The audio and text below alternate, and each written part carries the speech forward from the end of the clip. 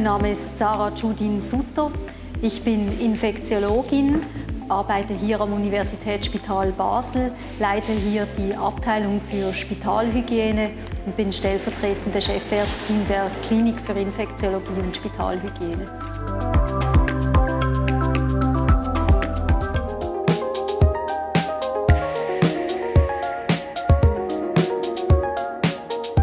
Bei meinem Forschungsgebiet geht es darum, die Übertragung von epidemiologisch wichtigen Erregern zu verstehen und Interventionen zur Eindämmung dieser Übertragung zu studieren.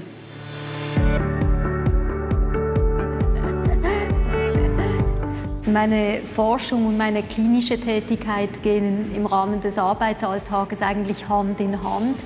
Äh, einerseits befasst sich die Forschung damit, zu verstehen, zu versuchen, wie es zu Übertragungen von epidemiologisch wichtigen Erregern kommt, eben auch gerade wie es im Spital zur Übertragung kommen kann und dann eben auch zu studieren, welche Präventionsmaßnahmen hier gegenwirken können. Und das lässt sich sehr gut mit meiner klinischen Arbeit im Alltag vereinbaren, wo es eben darum geht, im Spital zu definieren, welche Maßnahmen getroffen werden können, um die Patienten vor spitalerworbenen Infektionen zu schützen.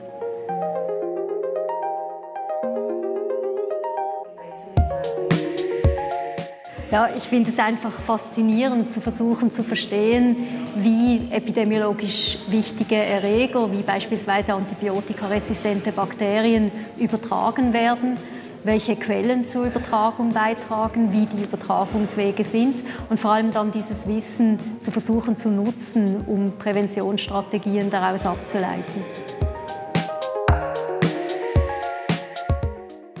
Ich möchte gerne einen Beitrag leisten, die Evidenzgrundlage hinsichtlich der Übertragung epidemiologisch wichtiger Erreger zu stärken und dann vor allem auch daraus Präventionsmaßnahmen abzuleiten und dies vor allem mit dem Ziel, die Betreuung von Patienten und Patientinnen am Spital zu optimieren.